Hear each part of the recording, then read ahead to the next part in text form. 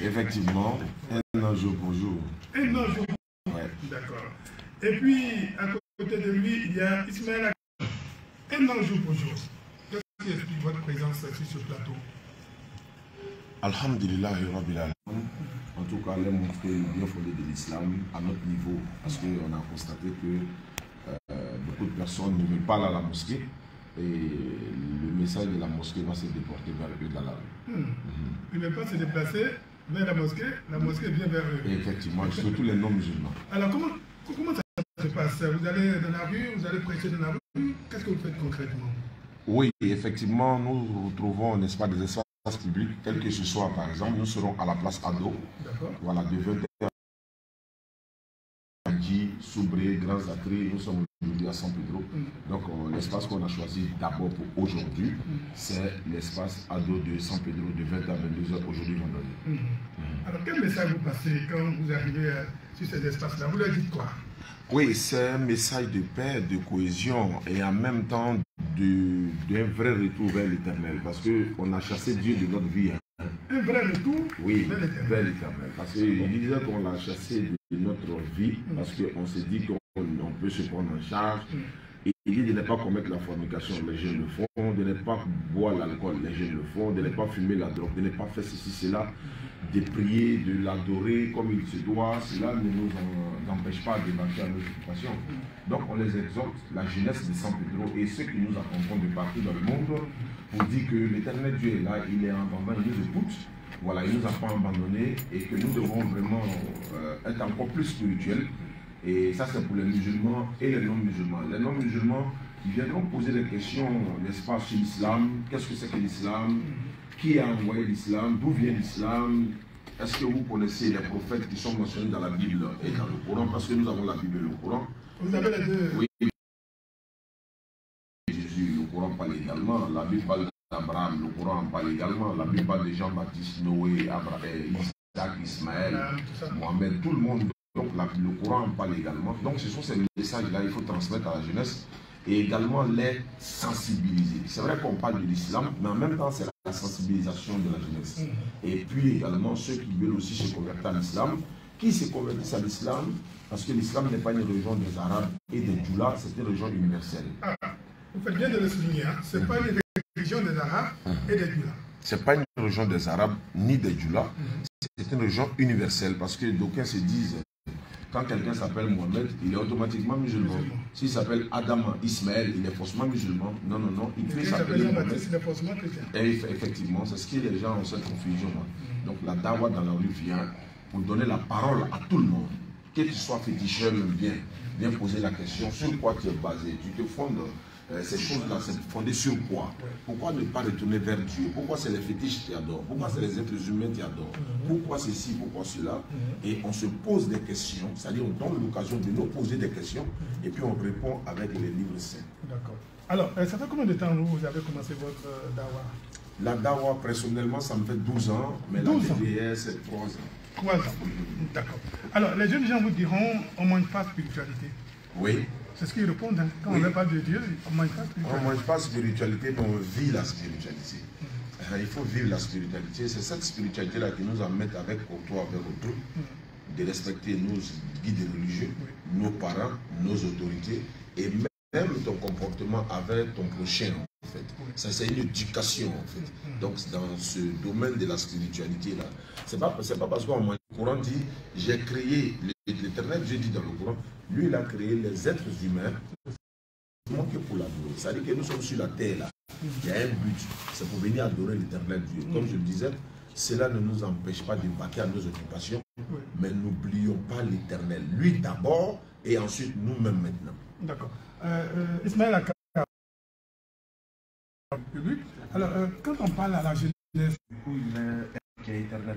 Donc, ce qui fait qu'on a du les jeunes ont du mal à servir le message, comme je l'ai dit, c'est la distraction, les réseaux sociaux, les boîtes. Chez lui à la maison, là, la maison qu'il dort dedans, ce n'est pas quitter du hasard, c'est pas quitter au ciel. Voilà. Donc, étant dans cette situation, tu, tu, connais le développement dans le pays, mais en même temps, l'éternel Dieu est partout. C'est ce que je suis en train de dire. Omniprésent. Omniprésent. Tu es en train d'aller forniquer, tu penses que personne ne te voit pas. Mais il faut que tu saches qu'il y a lui, l'éternel, qui te voit. Mhm. C'est vrai qu'il il peut ne pas te châtier sur le champ, mais sache que tu as un devoir envers lui. Il faut te repentir rapidement pour quitter les. Mm. Tu es dans les bois de nuit, tu passes ton temps dans Mais est-ce que c'est ça la vie, frère? Hein? Est-ce que toi, tu peux conseiller à quelqu'un de passer tout son temps? Donc, il y a une manière de l'approcher, il y a une manière de lui parler sans le frustrer. Je pense que puis, ce n'est pas un coup, il va accepter. Un petit à petit, avec la. C'est un processus, c'est ça Effectivement. Donc, ce n'est pas aujourd'hui que nous avons commencé. Et les résultats sont là. Beaucoup de personnes se convertissent à l'islam. Ceux qui sont déjà musulmans nous disent vraiment, grâce à vos enseignements, on a changé beaucoup dans nos comportements. Mhm. Beaucoup ils disent également, je ne savais pas que l'islam était comme ça. J'ai décidé de me convertir à l'islam parce que de l'autre côté, peut-être qu'on ne me dit pas comme vous nous le dites. Mhm. Donc, voici un peu, j'ai été touché par vos messages. Mais est-ce que vos aînés n'ont pas euh, galvauder un peu Est-ce qu'ils n'ont pas déformé un peu les choses? Parce que l'islam, pour beaucoup, hein, l'islam rime avec la violence. Avec ce qu'on a vu, les attentats et autres. Non, nos anciens n'ont pas déformé, mais c'est les gens qui ont mal compris. Parce que quoi? Ils écoutent les anciens, les dévanciers, mhm. mais en même temps, ils sont focalisés sur les médias, comme il disait là. C'est-à-dire qu'il est focalisé sur les chaînes internationales. Mhm. Il est en train de regarder. Le monsieur, il s'explose, il dit Allah Akbar. Lui, pour lui, automatiquement, c'est un musulman. Mhm.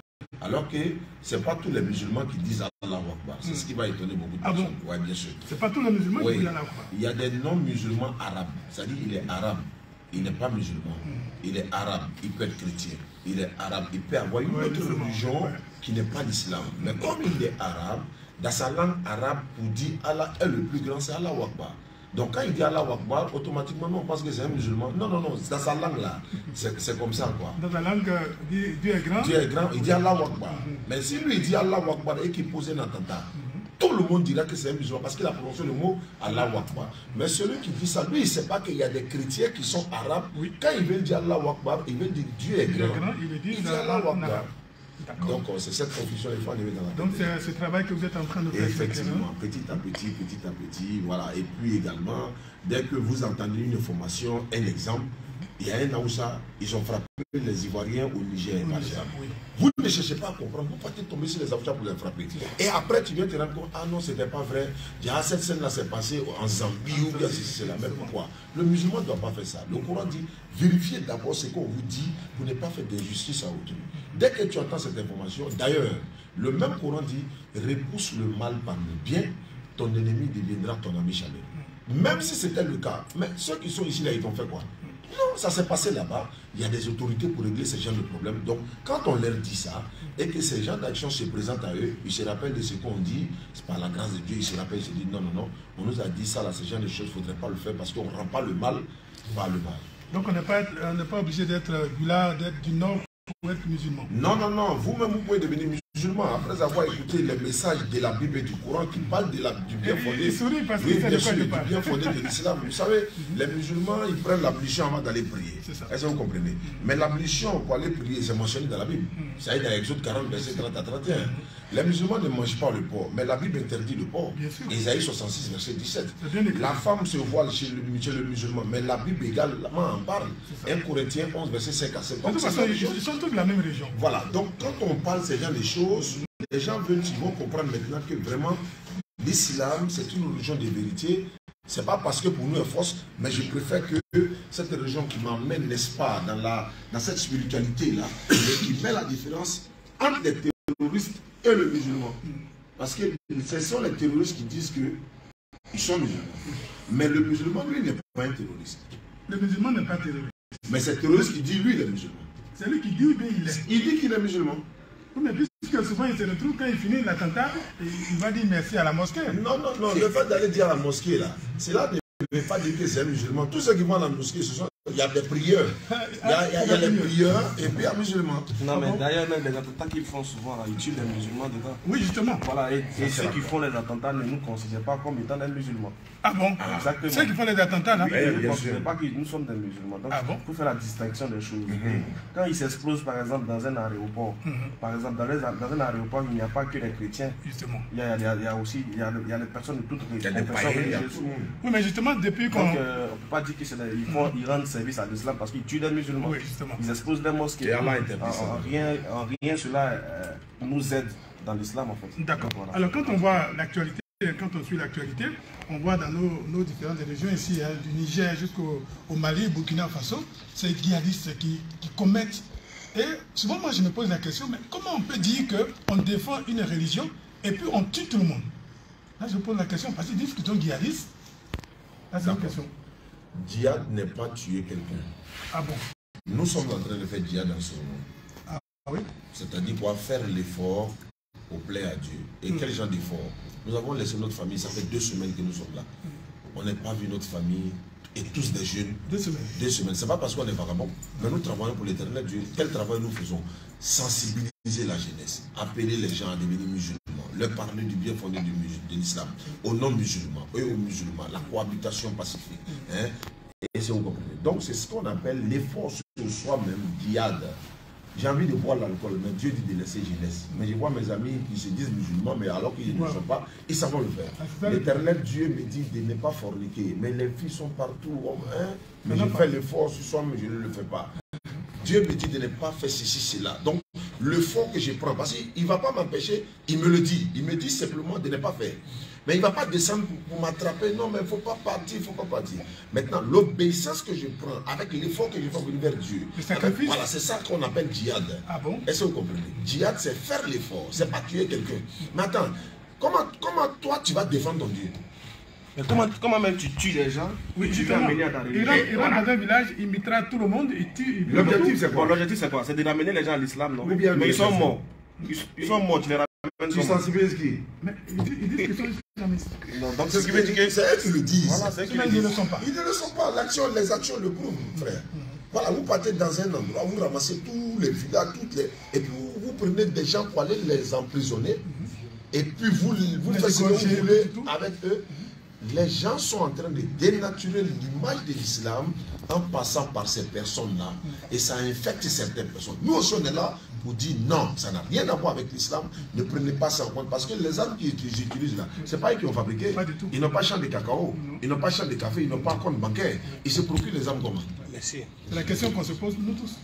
Ouais, en tout cas, posez-vous bien les questions, mhm. parce que si vous, vous, posez les bonnes questions, vous aurez forcément les bons résultats et les bonnes réponses à vos différentes questions. Et cela, Dieu l'a dit dans le Coran. Il dit il veut éteindre avec le souffle de la bouche la vérité de l'islam.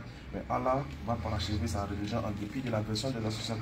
Donc tuer n'est pas du ressort du musulman. Tuer n'est pas du ressort du musulman. Le musulman, il ne tue pas. Il ne tue pas. D'ailleurs, il appelle les vivants à venir à l'islam, mm. pas les morts. Mm. Si je te tue, quoi est-ce que j'ai rendu service à ma religion? D'accord.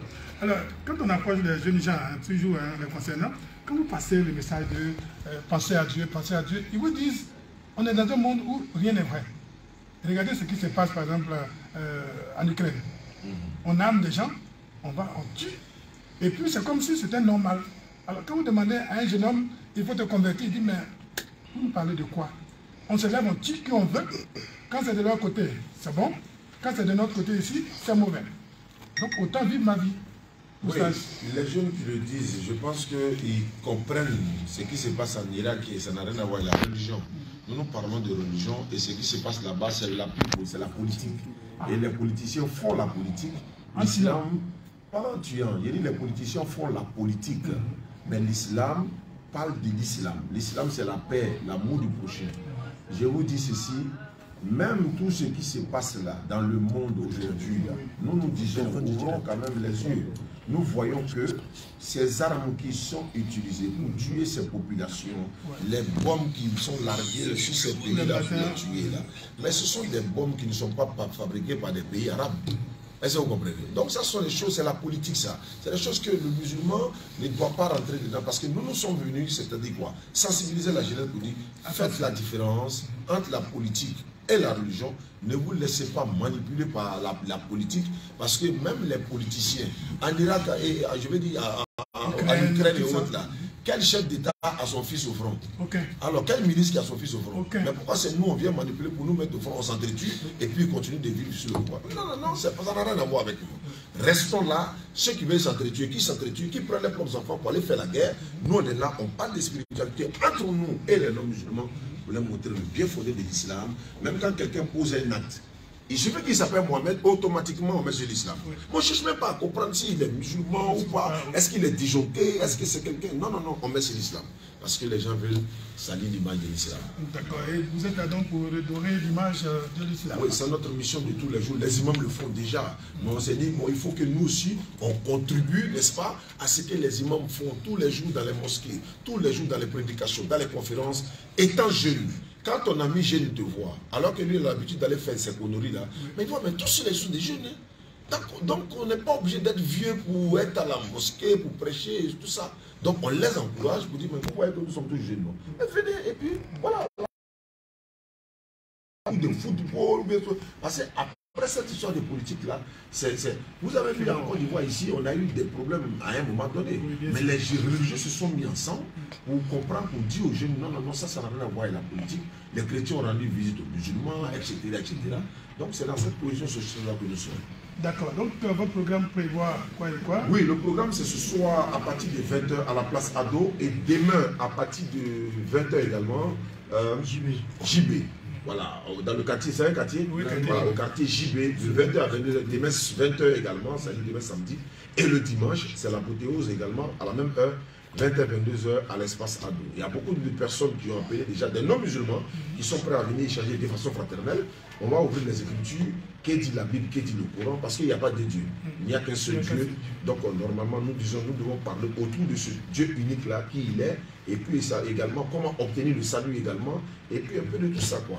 qui, finance, qui finance vos actions Nous sommes des, nous, nous sommes, faisons du bénévolat. Ah bon? Oui, bien sûr. C'est des jeunes ici à San Pedro, et ils se cotisent. Ah ils nous apportent un peu de carburant, nous on prend nos véhicules et puis on vient. Super. C'est tout. Ah bon Oui, mais c'est pas et parce quand, que... Et quand vous finissez, vous repartez Non, non, non, non, non, non c'est Vous avez reçu gratuitement. Donné gratuitement. Matthieu 10, verset 8. Voilà, la Bible dit. Donc vous donnez gratuitement. Oui, bien sûr. De votre temps. Oui, on donne gratuitement, mais écoutez, notre salaire, notre salaire nous comble qu'Allah. Parce que la récompense, c'est dans l'au-delà. Jésus a dit il y a plusieurs demeures dans la maison de mon Père. Si cela n'était pas, je vous l'aurais dit. Donc dans cette demeure-là, nous on veut y être également. Voilà. Donc, Mais euh, quand- ce, mais que, quand vous laissez, oui. ce que nous laissons gratuitement ici, on, on- on aura ça auprès d'Allah. Quand vous laissez vos femmes, vos enfants à Abidjan ou là où vous êtes, et puis vous venez ici évangéliser, vous retournez comme ça, réduire les, les bras ballants, tranquillement. Déjà, un homme de Dieu, il faut comprendre qu'un homme de Dieu qui ne travaille pas, c'est un paresseux. Voilà, Ah donc, bon? voilà. Un homme de Dieu qui ne travaille pas, c'est un paresseux. Oui, c'est-à-dire que quand tu fais le travail de Dieu, cela ne t'empêche pas aussi de travailler pour nourrir ta famille. Voilà, ou bien de faire quelque chose pour nourrir ta famille. Maintenant, le- ce qui est important, ce qui est le mystère caché du travail du, du- du- de l'homme de Dieu, Mhm. c'est que quand il travaille pour Dieu, c'est Dieu qui s'occupe de lui. Claire. Ah bon? Ouais, c'est Dieu qui, qui, qui pourvoit à ses besoins. C'est-à-dire que même si cet homme de Dieu-là n'a pas une activité florissante, c'est Dieu qui pourvoit à ses besoins. besoins. Et nous, par la grâce de Dieu, on n'a pas besoin de salaire, Dieu il pourvoit à nos besoins. Mhm. Voilà. Et quand vous retournez à la maison, Oustaz, quand l'enfant vous demande Papa, tu m'as envoyé quoi?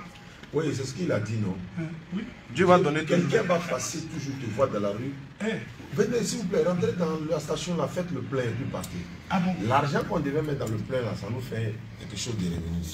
Quelqu'un te croise dans la rue, ça, garé, garé, garé, et puis il vient et te dit, tiens ça, une enveloppe, etc. etc. Qui l'envoie? C'est Dieu qui l'envoie, parce que lui, il fait le travail de l'éternel Dieu. Dieu enverra toujours des gens, n'est-ce pas, pour pouvoir lui donner la suffisance. Voilà. Mais il ne faut pas t'asseoir pour attendre ça, en fait. Voilà, on ne le fait pas pour ça. Ça veut dire qu'on ne fait pas la campagne là pour de l'argent, mais on ne peut pas faire cette campagne sans l'argent. J'avoue que je suis épaté hein, par votre dévouement vis-à-vis de Dieu. c'est- Oui, ça fait plaisir parce que les gens ne connaissent pas. Ils pensent que euh, euh, quand tu es dans la voie de Dieu, tu n'as pas d'épreuves. On a souvent des épreuves, beaucoup même d'épreuves, parce que les hommes de Dieu ne sont plus éprouvés. Voilà, mais comment surmonter ces épreuves-là? C'est toi, la population regarde. Quand toi tu pleures là, mais ils vont dire quoi? Donc toi, il faut être toujours joyeux, même dans la difficulté, il faut montrer le bon visage. Mais il- Dieu, en tout cas, par la grâce de l'éternel, il pourvoit toujours à nos besoins. C'est-à-dire que tu ne peux pas dormir, passer une journée sans que quelqu'un te dise je t'ai fait un dépôt de temps, sans le connaître. Ah oui? Sans même le connaître. Il n'y a pas un jour où quelqu'un va te dire, même si c'est 1000 francs, ou bien te croiser dans la rue, parce que ce que tu fais, Ouais. lui ne peut pas faire. Mais qu'est-ce que lui peut faire? Lui ne peut que te soutenir. Mais c'est Dieu qui invite ces personnes-là à les aider. Et d'ailleurs, Dieu même l'a dit. euh, Comment vous êtes retrouvés pour, pour créer ce, ce groupe-là? J'ai fini cette petite parenthèse Oui. si vous me le permettez. Oui, allez-y, C'est que Dieu même dit que si lui, il arrive à nourrir les oiseaux du ciel qui ne sèment ni ne moissonnent, à quoi plus forte raison l'homme, l'homme qu'il a créé et qu'il aime au-dessus de toutes choses. Mhm. Donc ce qui veut dire que si nous, qui sommes humains.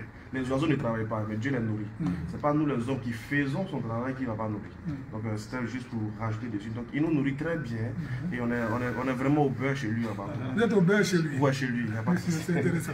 Vous ne le dites pas parce que vous êtes à la radio. Hein? Euh, non, non, non, non. Ça, c'est, parce que vous le pensez. Je le dis, je le pense et puis c'est testé, c'est approuvé. Mm. Voilà. Donc, euh, pour euh, l'association. Mhm. Comment vous êtes retrouvé C'est-à-dire que. Euh, vous êtes en train de pâter votre collègue, hein, apparemment. Allez-y. Ouais, c'est ça, c'est la DDR, c'est comme ça. Lui, lui et moi, on va dire. en fait, c'est moi qui ai établi le premier contact parce que moi, je suis fils de pasteur et je me suis converti à l'islam. Ah bon? Et voilà, comme je me suis converti, quelques, je, je, faisais mes recherches, je, je, je faisais quelques échanges au quartier. Et puis je suis tombé, dans ma recherche, je suis tombé sur l'une de ces vidéos qu'il faisait dans le passé. Mhm. Et j'ai voulu rentrer en contact avec lui pour essayer de hein, faire ce, ce, travail-là aussi. Voilà, parce que c'est quelque chose que j'ai toujours aimé de faire, c'est-à-dire parler de la part de Dieu, parler de Dieu, mhm. échanger, exhorter, etc. etc. Voilà, d'ailleurs, moi, je voulais devenir journaliste, mais bon, hmm. euh, voilà. Mais de toute façon, c'est pas encore perdu, non? Non, Dieu m'a donné le journalisme dans, dans la spiritualité. ouais, vous servez en tant que journaliste dans la spiritualité. Ouais, exactement. Donc, c'est là qu'en 2016, on va dire 2016, fin 2016-2017, que euh, lui et moi, on s'est rencontrés. Hmm. Et puis, depuis là, euh, c'est parti, on a commencé à faire des activités ensemble. Dieu a uni deux personnes, deux cœurs, deux spiritualités. Et, et aujourd'hui, vous revendiquez combien de personnes, combien de membres? Euh, on est plus de 34, 34, 34. Oui, mais on ne vient pas tous. Euh, oui, non, je comprends. Mais dans le monde, on est reconnu partout dans le monde. On a des représentants partout dans le monde. 61 pays 61 dans pays dans cette ville-là ah en Côte d'Ivoire. Vous, avez des délégations dans ce pays-là? Oui, bien sûr. Mais dans la ville, en Côte d'Ivoire, on est dans 57 villes. Ah Notamment San Pedro, Soubreya, Bayo, Meagi, Grands Apri, Abouaké, etc., etc. Tout le monde. Hmm, c'est intéressant. Alors vous, euh, particulièrement, le déclic est parti de quoi? Enfant de pasteur qui devient musulman. Ouais, le déclic est parti. J'imagine euh, ce qui s'est passé à la maison. Hein. Exactement, c'était un boom. Un boom. Ouais, mais après, euh, on va dire la fumée est venue et puis bon, mm. le s'est stabilisé. Mm. Euh, on va dire que c'est parti de, de, beaucoup de, de questions. Comme vous avez dit, il faut se poser des questions. Mm-hmm. Il faut se poser les bonnes questions. Et on va dire c'est la curiosité du jeune homme qui veut comprendre mm. qui l'a amené à être euh, bien guidé de la part de Dieu. Je ne veux pas rester là à me permettre de fustiger les autres, mais je veux dire, c'est moi, c'est personnel. Voilà, au, au, fur et à mesure que j'ai voulu, que j'ai cherché, je faisais la synthèse entre les deux, je disais la Bible courant, etc. J'essayais de poser des questions sur ce que je n'avais pas à comprendre étant chrétien. Et c'est là qui m'a permis euh, à m'orienter vers l'islam. D'accord. Donc aujourd'hui, on peut dire que vous êtes euh, à l'aise, vous êtes dans votre assiette. Vous faites ce que vous avez envie de faire? Plus qu'à l'aise, en tout cas. Plus qu'à l'aise. Eh ben, dis donc. J'aimerais vous inviter aussi à venir manger le plat de la spiritualité musulmane. D'accord, je mange déjà. Alors, Oustaz, oui. ce soir, vous attendez qui? Nous attendons tout le monde même si tu es féticheur, parce qu'il se peut que tu te trompes et que tu ne demandes pas. Jésus a dit, hein, Matthieu 7, verset 7, demandez, l'homme vous donnera, mhm. cherchez, vous trouverez, mhm. frappez, l'homme ouvrira. Jean 8, 32, vous connaîtrez la vérité, elle vous affranchira. Et le Coran nous dit également, aux gens du livre, venez à une parole commune entre vous et nous, que nous n'adorons qu'Allah sans rien lui associer. Mhm. Donc c'est de ça qui va s'agir ce soir. Et ce qui est important dans notre conférence, c'est que quand on finit, on, a, on ne cible personne. C'est-à-dire que tout le monde vient poser la question. Hmm. Tu te poses des questions depuis des dizaines d'années sur l'islam ou encore sur toi-même, viens poser la question. Il se peut que nous n'ait pas la réponse, mais les imams sont là, ils vont répondre. Hmm. Il se peut aussi qu'on ait la réponse et que tu n'as pas pu avoir la réponse chez X, mais tu peux trouver la réponse même dans la bouche d'un fou. Est-ce que vous comprenez? Voilà, donc c'est de ça qu'il s'agit. Tout le monde est invité, sans exception, parce qu'on va partager, n'est-ce pas, la parole de Dieu. Et c'est autour de cette parole-là que nous appelons la jeunesse de San Pedro pour se conformer à la, à la religion, n'est-ce pas? Et quitter dans les rues dans le sens d'agressivité, voler moto des gens, boire l'alcool par-ci par-là. Ce n'est pas une bonne image de la jeunesse et surtout jeunesse musulmane. Parce que le musulman, c'est celui-là qui donne l'exemple à l'autre. Mais c'est toi qui es musulman, c'est toi qui es dans les matins, c'est toi qui vole, c'est Donc c'est pas toi. Mhm. Tu sais qu'à cause de toi seul, on dira, on dira pas, mais ce jeune-là, il est mauvais. Hein. On dira, regarde les musulmans. Regarde les musulmans. Regarde les musulmans. Ils vont généraliser. Et on ne pourra pas, n'est-ce pas, les accuser pour ça. D'accord. Aka, un message à tous ces jeunes comme vous qui vous écoutent euh, un message à tous ceux qui sont jeunes comme moi qui m'écoutent, c'est qu'il euh, est important de vivre sa jeunesse. Mm. mais il faut comprendre aussi que la religion ne nous empêche pas de vivre notre jeunesse. Mm. Voilà. Au contraire, la, la, religion nous inculque les vraies valeurs de la jeunesse mm. et la religion nous permet de bien pratiquer, de bien comprendre l'essence de la jeunesse. Parce que le vieux d'aujourd'hui était le jeune d'hier. Mais le jeune d'aujourd'hui n'est pas évident qu'il soit le vieux.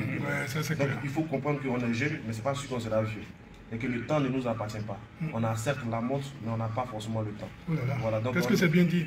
Il meurt tellement jeune aujourd'hui, ça nous fait peur. Voilà, donc il faut vraiment prendre conscience et se dire qu'on n'a pas assez de temps. On n'a pas assez de temps. Vous n'avez pas raté votre vocation parce que vous êtes vraiment un bon journaliste. Non? Pourquoi pas? Merci beaucoup. voilà. Je crois que tout a été dit? Vous voulez ajouter quelque chose? Tout a été dit. Oui. Voilà. Donc on va vous dire merci. Merci beaucoup. Merci. Et puis euh, rendez-vous ce soir. Merci. À la place Ado. À la place Ado. 20h, 22h. 20h, 22h. Oui. On sera au rendez-vous. Merci beaucoup. Dieu aussi sera au rendez-vous. Effectivement. Allez, merci. À très bientôt. très bientôt.